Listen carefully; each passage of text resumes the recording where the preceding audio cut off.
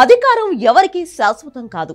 పవర్లో ఉన్నాం కదా అని ఎగిరెగిరి పడితే పవర్ కోల్పోయిన తర్వాత బతుకు తలకిందులైపోతుంది.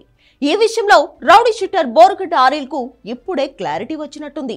మొన్నటి వరకు చంపేస్తా నరికేస్తా అని ఎగిరిన ఈ తోపు ఇప్పుడు పోలీసుల ముందు కన్నీళ్ళు పెట్టుకుంటున్నాడు.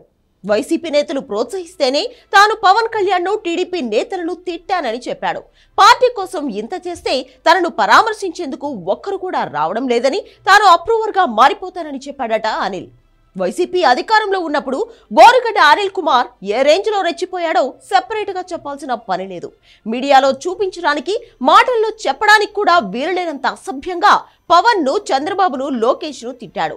ఇలా ఒక్కసారి కాదు వాళ్ళను విమర్శించాల్సి వచ్చిన ప్రతిసారి ఇదే తంతు. ఇంటర్వ్యూలలో డైలాగులు కొట్టడం జగన్ ఆర్డర్ ఇస్తే చంద్రబాబును చంపేస్తానంటూ బెదిరించడం ఇదంతా ఓ హీరోయిజంగా ఫీల్ అయ్యాడు. కట్ చేస్తే అసెంబ్లీ ఎన్నికల్లో అధికారం మారిపోయింది. ఎవరినైతే చంపేస్తానన్నాడో ఎవరి ఫ్యామిలీ గురించి బూతులు తిట్టాడో ఇప్పుడు వాళ్ళే సీఎం డిప్యూటీ సీఎం హోదాలో ఉన్నారు. అంతే. కలుగులో దాక్కున్న అనిల్ను ఎలకను పట్టినట్లు పట్టి లోపలేశారు పోలీసులు. మొన్నటి వరకు ఎవరు అనిల్ను రెచ్చగొట్టి ఇదంతా చేయించారో వాళ్ళెవరూ ఇప్పుడు అనిల్ మొహం కూడా చూడలేదు. అసలు అరెస్టు గురించి వైసీపీ నుంచి ఒక్క రియాక్షన్ కూడా లేదు.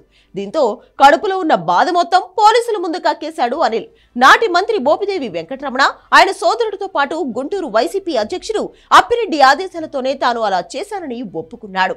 వాళ్ళే తనను ప్రోత్సహించి టీడీపీ నేతలను తిట్టించారని ఒప్పుకున్నాడు. దళిత సామాజిక వర్గాలకి చెందిన వ్యక్తి కావడంతో వైసీపీలో మంచి ఫ్యూచర్ ఉంటుందని నమ్మించి తనను వాడుకున్నారని చెప్తున్నాడు. తాను సోషల్ మీడియాలో చేసిన వ్యాఖ్యలకు ప్రాయశ్చిత్తంగా చంద్రబాబు పవన్ లోకేష్ల అభిమానుల కాళ్ళు పట్టుకునేందుకు కూడా తాను సిద్ధంగా ఉన్నానని చెప్పాడట అనిల్. మరి ప్రభుత్వం అనిల్ మీద ఎలాంటి యాక్షన్ తీసుకుంటుందో చూడాలి.